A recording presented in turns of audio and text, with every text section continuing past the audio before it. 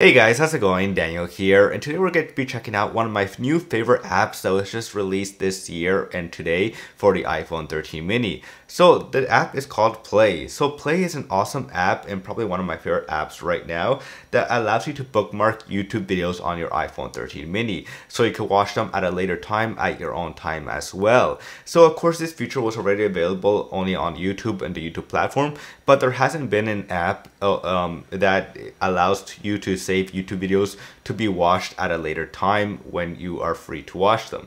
So when you open up the app, of course, it's just a really simple way to, uh, it simple shows right here what YouTube videos you have saved to watch at a later time.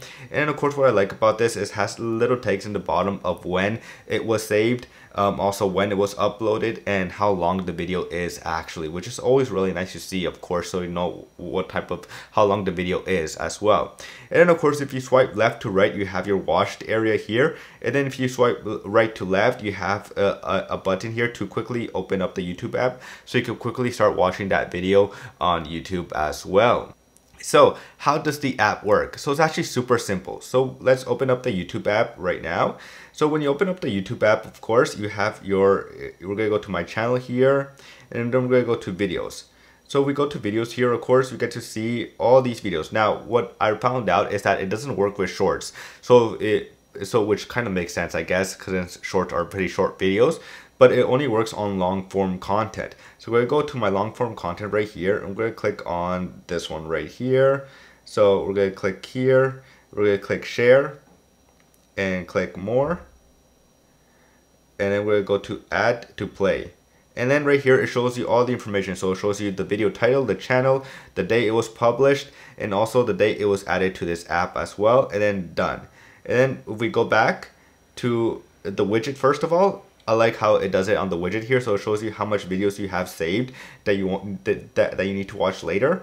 So gonna click it and then when you open the app, it will be right there popped up right there. So it shows the latest video that was just added to my bookmark section in the Play app.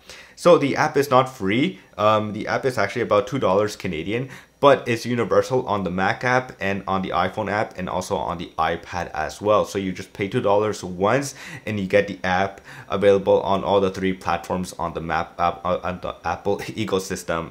I'm just super excited because it's just a super cool app and finally there's a way to save and bookmark YouTube videos because uh, I don't really use the bookmark or save later feature on YouTube. It just doesn't work for me. Uh, but this, I'm going to be using it a lot now.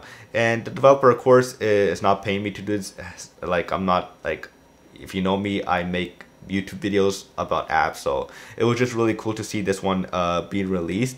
And it just looks so fun that I was probably going to be one of my top apps of this year of 2022. So if you enjoy these videos, it will be really cool if you guys will hit the subscribe button, hit the like button as well, so that uh, other people could find this video and hopefully find this video useful as well. And as always, I will see you guys later. Peace.